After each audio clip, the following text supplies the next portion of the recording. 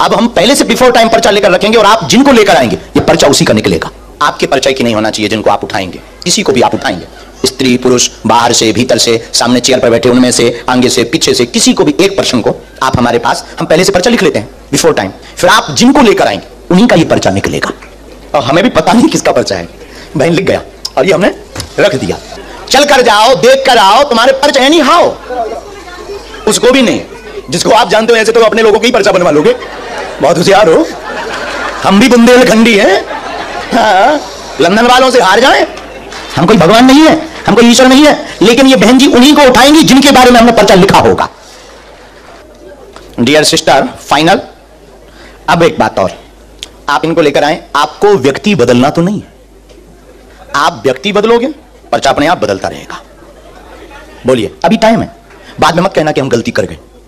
Final lock कर दिया जाए।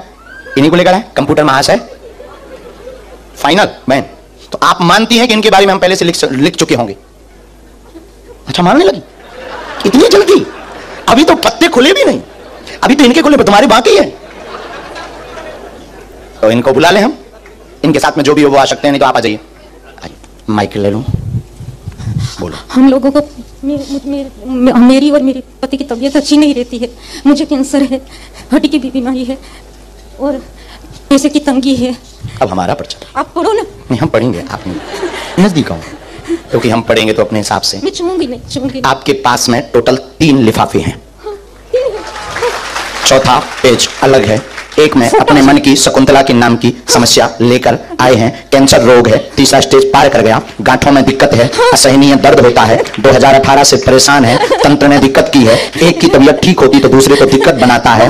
आर्थिक तंगी है। पति बहुत कलेश करते हैं। मदिरा पान करते हैं। सुधर जाएँगे। कृपा हो जाएगी। आशीर्वाद है।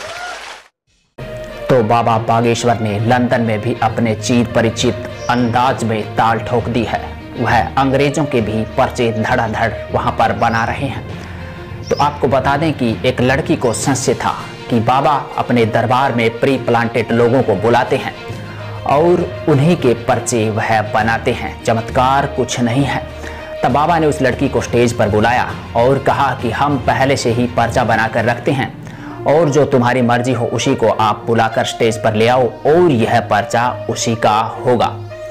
तब उस लड़की को बाबा ने यह चैलेंज दे दिया और बाबा ने पर्चा बनाकर लिखकर अपने पास रख लिया और उस वह लड़की चली जाती हैं पंडाल में, जहाँ पर बहुत सारे भक्तजन, कथा श्रोतागण बैठे हुए होते हैं। वहाँ से वो इस एक लड़की को उठाकर लाती हैं और बाबा उस लड़की के बारे में बताने लगते हैं। तब लोग हैरान रह जाते हैं।